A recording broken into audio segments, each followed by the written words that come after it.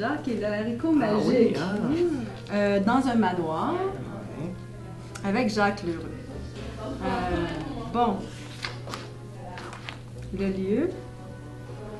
Ah, c'est... ah mon Dieu! Ah, c'est quelque chose.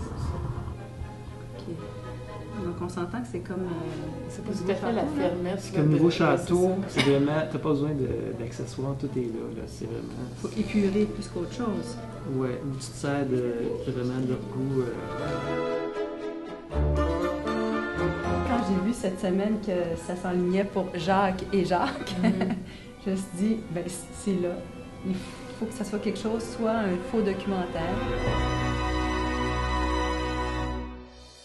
Je me suis dit, est-ce qu'on le filme parce qu'on on a décidé de faire une télé-réalité sur lui, puis à ce moment-là, oui, il se raconte un peu parce qu'il a des souvenirs, mais là, il se passe un moment croustillant de sa vie qui fait que est-ce qu'il se fait prendre, est-ce que qu'est-ce qu'est-ce qu'il fait euh, là faut qu'il faut qu'il sorte puis je sais pas quoi il se fait pas il, ça réussit pas puis là sa, sa seule ressource ou son seul plaisir coupable c'est de chanter ah.